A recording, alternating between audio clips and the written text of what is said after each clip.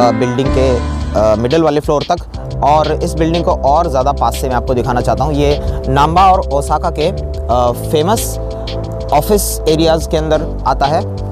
और हम बात कर रहे थे फॉरनर्स के इंटरनेशनल जॉब्स के बारे में जो कि जापान के अंदर आके काफ़ी काफ़ी इजी हो जाता है। अगर आपके पास लॉन्ग टर्म वीज़ा है तो आपके लिए जॉब लेना बहुत बहुत इजी है। अगर लॉन्ग टर्म वीज़ा नहीं है तो आप इंडिया से भी जॉब ले सकते हैं या फिर आ, सबसे जो आसान सबसे सस्ता तरीका और कॉस्ट को भी रिकवर करने वाला तरीका जो कि मैं हमेशा बताता हूँ होता है स्टूडेंट वीज़ा जिसमें आप आरोबाई तो करके अपनी कॉस्ट को रिकवर कर सकते हैं और स्टूडेंट वीज़ा एक साल के बाद आप उसको एक साल और एक्सटेंड करवा सकते हैं और उसके बाद कुछ स्टूडेंट्स ऐसे भी हैं जो दो साल, तीन साल एक्सटेंड करा के रहते हैं साथ साथ अपनी कॉस्ट रिकवर करके उसी कॉस्ट से स्कूल फ़ीस पे करते रहते हैं और इवेंचुअली वो एक ऐसी जॉब लेते हैं जो कि आईटी फ़ील्ड या फिर मैनेजमेंट फ़ील्ड के अंदर होती है, जिसमें जैसे कि मैंने पहले वीडियोज़ में भी बताया था चालीस मान या पैंतीस मान से उनकी स्टार्टिंग होती है और वो पैंतालीस मान, पचास मान तक भी ले रहे हैं। मेरे ही ऐसे स्टूडेंट्स हैं जो इस टाइम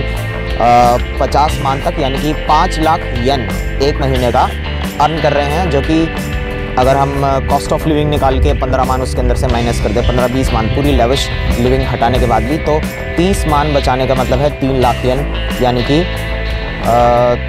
लगभग दो लाख रुपए पर मंथ सेविंग ऑल ये थी अच्छी अच्छी बातें। अब मैं इसके कुछ आपको मुश्किल पॉइंट्स बताना चाहता हूँ। जैसे कि आप देख रहे हैं, जापान एक एकदम साफ़ सुथरी डेवलप्ड कंट्री है। तो सबसे बड़ी, सबसे मुश्किल चीज़, ख़ास तौर पे से हम इंडियंस के लिए यही आती है कि टाइम को फॉलो करना, यहाँ के रूल्स को फॉलो करना साफ़ सफ़ाई को फॉलो करना, और साथ के साथ जॉब कल्चर के अंदर ढल जाना।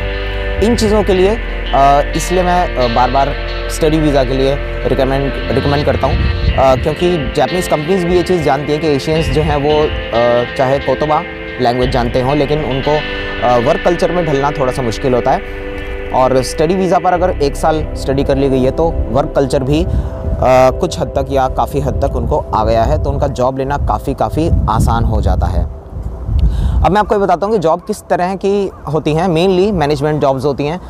आईटी फ़ील्ड आईटी फ़ील्ड तो थोड़ा सा डिफरेंट हो गया क्योंकि अगर आपको आईटी में एक्सपर्टीज़ है तभी आप उस फ़ील्ड उस जॉब को ले सकते हैं। लेकिन मैनेजमेंट फ़ील्ड जो है वो uh, क्योंकि उसके अंदर जापनीज़ लैंग्वेज का मैनेजमेंट स्किल्स का सेल्स स्किल्स का ज़्यादा यूज़ होता है इसलिए वो जॉब्स लेना ईजी होता है। उनमें पैसा भी आप ज़्यादा कमा सकते हैं। आईटी फ़ील्ड से भी ज़्यादा पैसा कमा सकते हैं एक साल या दो साल काम करने के बाद चाहे उसी कंपनी में चाहे किसी दूसरी कंपनी को चेंज करने के बाद। फ़िलहाल वो तो बाद की बात है। अभी हम वापस आते हैं स्टडी वीज़ा पर। स्टडी वीज़ा में सिर्फ़ ऐसा नहीं है कि आपको पढ़ना है आरुबाई तो करनी है, पढ़ना है आरुबाई तो करनी है। ट्रैवल करने से भी आपको लैंग्वेज इनफैक्ट आरुबाई तो करने से भी आपको लैंग्वेज काफ़ी काफ़ी आ जाती है, जो कि स्कूल में पढ़ने से भी ज़्यादा होती है, जिसको डेली काइबा नीचे जो काइबा डेली कॉन्वर्जेशन कहते हैं इसको जापान आके ही एक्सपीरियंस किया जा सकता है। इससे आप अपने बहुत सारे जापानीज़ फ्रेंड्स बना सकते हैं जो कि आपको आगे हेल्प करते हैं। मेरे ऐसे भी स्टूडेंट्स हैं जो कि यहाँ पर इनफैक्ट एक्सपोर्ट इम्पोर्ट का बिज़नेस तक स्टार्ट करने का प्लान कर रहे हैं। वो लोग अपना एक ग्रुप बना के खुद की अपनी कंपनी लॉन्च करने की कोशिश कर रहे हैं। तो इस तरह के ब्राइट फ्यूचर के लिए जापान के स्टडी वीज़ा को you should always consider admission process के बारे में और स्कूल्स के बारे में। देखिए स्कूल्स जो हैं तो वो अलग अलग टाइमलाइन अलग अलग ड्यूरेशन के एडमिशन्स को इम्प्लीमेंट करते हैं। जैसे six months one year one and half year two years usually admission process होता है। एडमिशन ड्यूरेशन होती है। और इसमें अक्टूबर इनटेक जुलाई इनटेक और जनवरी इनटेक जो है सॉरी अप्रैल इनटेक जो है वो सबसे ज़्यादा फ़ेमस है। कुछ कुछ जनवरी इनटेक भी लेते हैं, लेकिन सबसे ज़्यादा जो कॉमन है वो है अप्रैल और अक्टूबर इनटेक तो अप्रैल इनटेक के लिए अगर प्रोसेस स्टार्ट होता है, वो हो जाता है नवंबर या दिसंबर के अंदर। और अक्टूबर इनटेक के लिए मार्च या अप्रैल के अंदर स्टार्ट हो जाता है। इसमें जो इनिशियल कॉस्ट होती है, वो आपको थोड़ी सी लगानी पड़ती है। अराउंड कह सकते हैं इंडियन करेंसी के अंदर around five lakhs six lakhs आपको लगाना पड़ता है वन ईयर के लिए। लेकिन ये कॉस्ट रिकवर करने के साथ साथ आप सेविंग भी कर सकते हैं। मैंने अपने दूसरे वीडियोज़ में बताया कि आप सेविंग कैसे कर सकते हैं। और देखिए जैपनीज़ लैंग्वेज जो है, ऐसा क्यों कहा जाता है कि जैपनीज़ लैंग्वेज इंडिया के अंदर सीखने में जो एक साल में आप सीखेंगे, वो एक महीने में जापान में आप सीख सकते हैं।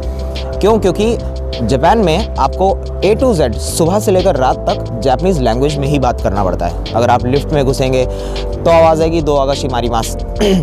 अगर स्टेशन पर जाएँगे तो आवाज़ आएगी, देनशागा मायरी मास गोचुई कुदासाई अगर किसी जापनीज़ से बोले मिलेंगे तो वो बात ही इसी से करेंगे कि योर्शको नेगाशिमास या फिर हिसाशी बुरी दिसने हो कि दिस का और अपने आप भी ऑटोमेटिकली जापान में जापनीज़ निकलनी शुरू हो जाती है अपने मुँह से। क्यों? क्योंकि जैसे आप किसी कैफ़े में बैठे हैं, किसी रेस्टोरेंट में बैठे हैं तो यूजुअली जो भी अनाउंसमेंट्स जो भी एडवर्टीजमेंट होते हैं छोटी छोटी चीज़ें होती हैं, वो सब जापनीज़ लैंग्वेज में ही होती हैं। जैसे कि मैंने अपनी दूसरे वीडियो में आपको डेंकी से ही डेंकी आसान में आपको अलग अलग चीज़ें दिखाई थी तो वहाँ पर भी जापनीज़ लैंग्वेज में ही उन चीज़ों की एक्सप्लेनेशन हो रही है। स्टार्टिंग में आपको ऐसा लगेगा कि काफ़ी एडवांस लैंग्वेज है, इसके लिए तो एन टू एन वन तक मुझे पढ़ना पड़ेगा, लेकिन नहीं जे एल का उतना लेने देना नहीं होता। J L P T is all about kanji और दोकाई योमिकाता वगैरह होता है, जो मैंने अपने बाकी वीडियोज़ में दिखाया है। मेनली जो काइवा या फिर किकू रेंशू की अगर हम बात करें तो जापान के अंदर एक महीने या दो महीने में ही इन चीज़ों की आपको बार बार सुन के ऐसी प्रैक्टिस हो जाती है